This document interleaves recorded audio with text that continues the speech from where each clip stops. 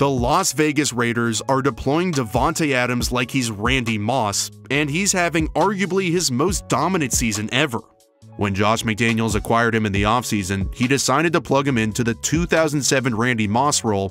You know, the 1500 yard, 23 touchdown season where the Patriots almost went undefeated. It's kind of crazy to change what Davante's always done, He's now become the first player ever with seven 100 yard games in three straight seasons. But after Green Bay used him more underneath, he's exploded in the deeper Moss role with the most targets of 20 plus yards and eight touchdowns of 20 plus as well. His average depth of target is the highest it's ever been, and the gamble to put him in this role has more than paid off. Today, we'll break it down into three different categories, first looking at how he was used in Green Bay, how he's destroying teams deep, and how he uses his release early to set up defenders to create space down the field. Back in Green Bay, their hands were forced to use him more underneath, knowing they didn't have the offensive line to hold up in protection long enough and didn't quite have the complement of weapons to spread teams out all over the field. Davante was targeted on screens and RPOs a ton since the Packers opted for more of an efficient, paper cut them to death type of offense to mask the rest of their limitations. He still won on the perimeter with fades, of course, but he and Rodgers' game was mostly mind melding on underneath stuff and trying to create yards after the catch on shorter throws. This obviously worked pretty damn well. Adams came to Vegas as one of the best receivers in the game, but I think as we move into category 2, how he's bombing teams over the top, he's proving he can be definitively the best. Just like with Randy Moss, McDaniels designs plays specifically for him where they give him all the freedom in the world. His yards per reception is 15.2, almost 2 yards higher than any year he's ever had, and it's because of how the Raiders are using him. This is the get open Davante or we take a 15 yard sack all or nothing play, where McDaniels is giving him the very freedom he gave Moss to get open. Here he has the option to either break left or right based on what the safety is doing. You can tell it's an option route based on Carr not throwing this the moment he breaks, but waiting till he's made his move. The Raiders use him to absolutely crush teams down the field on play action, where they can get him one on one on isolated routes and haven't been afraid to take deep shots. Carr's had his highest average depth of target ever at 8.8 since he's willing to hold the ball late in the down and find Davante deep. Carr's needed to hold the ball longer this year to facilitate all of the deep dig routes over the middle, where Davante is constantly free butt naked wide open, and these digs have been one of the biggest parts of their offense since it sets up even bigger plays. The Raiders run him on deep 20 yard digs to get him in space against corners and to get him moving away from defenders to pick up YAC. After a while, defenses identify the Raiders' tendencies to try to get him on these deep overs, so they play inside leverage against him in order to take that away. The only way this route works for Davante is if he beats the leverage of Asante Samuel Jr., which, to go through a defender's leverage, is one of the hardest things for a receiver to do. He stacks him off the line, which is crucial, then gives him a massive pressure step to sell him and breaks inside for the big catch. Look at the gravity he commands from the post safety Derwin James. Instead of playing in the middle of the field, he pseudo doubles Adams, so Samuel has him inside and underneath, and James outside and deep, but he's making dudes straight up fall over. Then a few minutes later, now Samuel's playing way off, because screw that, and so Dav hits him with the fake dig and he scores a touchdown.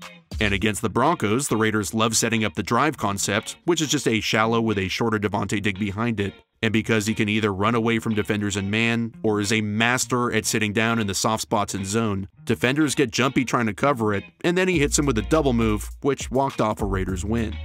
Creating open space down the field is hard if you don't have a great release, which we all know he has. It's our third category. But before we dive deeper, I want to shout out this week's sponsor, SeatGeek. With football season heating up into the playoffs, SeatGeek is the best way to watch everything go down in real time in real life. They make things super simple buying tickets, and it's by far the easiest ticketing app I've ever used. Football, concerts, basketball, festivals, and more, they are my favorite app because it's just click and go. I just used it to check out BCB Brock Purdy take down the greatest of all time in real life. Watching him in person confirmed that he is now the greatest 49ers quarterback to have ever lived. And right before the game, I just hopped on SeatGeek and got a couple dollars knocked off the price thanks to their deals. When the dot is green, that means you have a good deal, red is bad. So hop on now to find some greens, use my code Rollins for $20 off when you do. That's $20 off your first purchase with promo code Rollins, and make sure you click the link in the description to download the app. So, getting back to Davante, one of the staples of his game is his releases off the line, where he destroys cornerbacks every single time. I've done an episode on his signature hop release that I'll throw into the description box, but a quick overview is that he hops into the air when coaches literally tell you if you ever do that, you're getting benched. They know when you're in the air, if the corner jams you, you can't recover and your entire route is dead. But Davante is so devastating when countering corners, he can totally get away with it. He uses chops, wipes, wherever the defender hits him, he's able to counter and defeat that arm and create even more separation. The reason his hop release is so good is because he has the extraordinary timing required to get his foot down before the corner gets his down. So despite his relatively slow 4.5640 time, since he's always gaining a step on the corner because of his release, he always looks faster. What's cool about it is every release is customized to the corner, situation, and moment in the game, so each release is completely unique.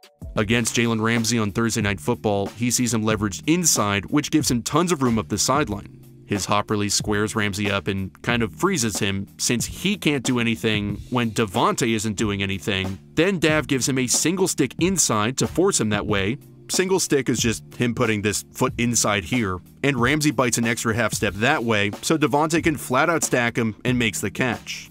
What you don't see on TV is the battle that happened before this play. Davante set this whole thing up. He noticed Ramsey kept playing inside leverage, which is telling him he's going to be one-on-one, -on -one, since Ramsey had only played outside leverage if he had safety help to funnel him to. On a couple of running plays, instead of using the hop, he just jets up the field to show Ramsey he might just tear off the line immediately, then he starts showing him the hop release. He slow plays this one a bit, just to mix up the tempo, then a few plays later, this is right before the big catch, watch the move he gives him. He hops and waits to get that right foot in the ground just as Ramsey's left foot starts to go in the air.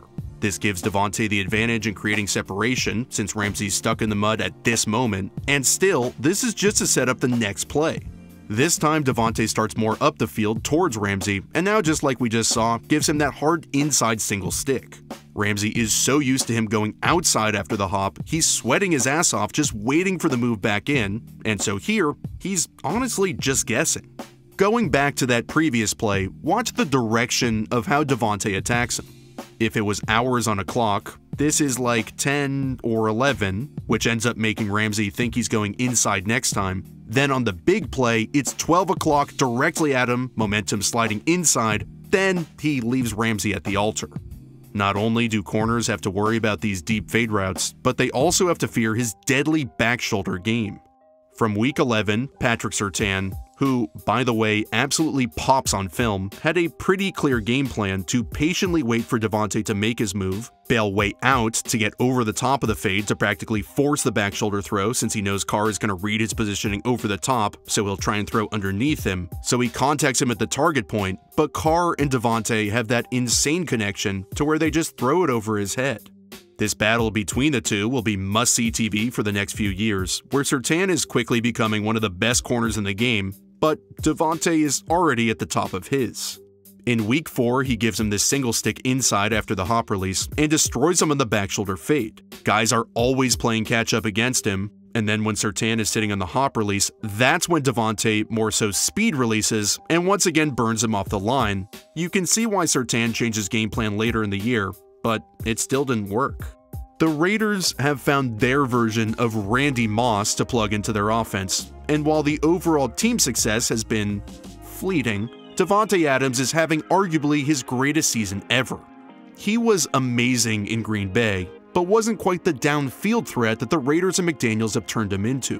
He's allowed Carr to become much more aggressive in ways that he hasn't been before, and despite his unique release package, where coaches are worried he'll get smashed off the line, he has the second most yards for its press coverage since 2020.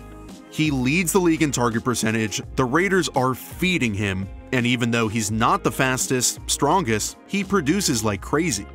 Randy Moss's 2007 season has been the gold standard where he dominated with 15.2 yards per reception. Well, this year, that's exactly what Davante's at too. The Raiders have arguably the best receiver in the game, being used like one of the best receivers of all time.